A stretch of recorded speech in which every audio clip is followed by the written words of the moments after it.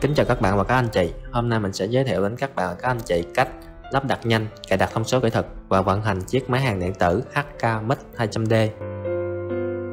Sau đây mình sẽ hướng dẫn các bạn lắp đặt ở chức năng hàng Liptic. Để sử dụng được chức năng này, các bạn trang bị cho mình một bộ súng hàng Liptic, một bình khí argon, một đồng hồ argon và một ống dẫn khí.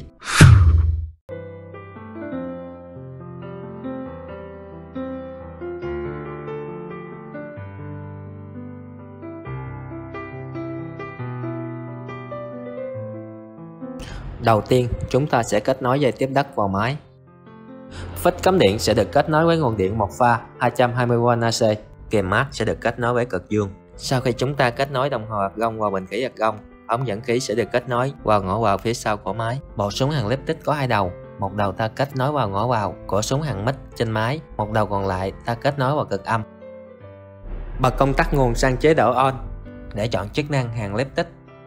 Ta ấn liên tiếp vào nút reset cho đến khi đèn led lip ARC tích sáng lên thì dừng lại.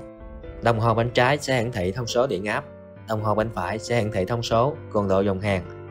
Để điều chỉnh cường độ dòng hàng lớn nhỏ, ta điều chỉnh nút Adjust. Để mồi lửa ở chức năng hàng lip tích, đầu tiên chúng ta chạm kim hàng vào vật liệu hàng khoảng 1 phần 2 giây, sau đó nhắc nhẹ mỏ súng lên khoảng cách khoảng 3 đến 5 mm so với vật liệu hàng. Lúc này lửa hàng đã được tạo ra và dòng hàng sẽ được duy trì. Chúng ta tiến hành hàng để kết thúc dòng hàng chúng ta di chuyển súng ra khỏi vật liệu hàng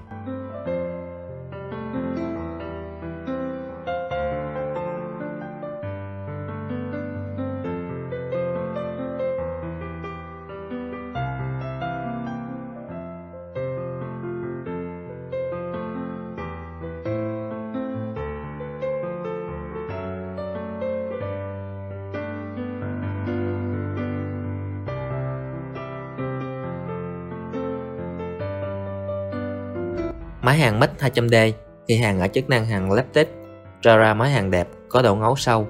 Xin chúc các bạn và các anh chị lắp đặt và vận hành thành công. Xin cảm ơn.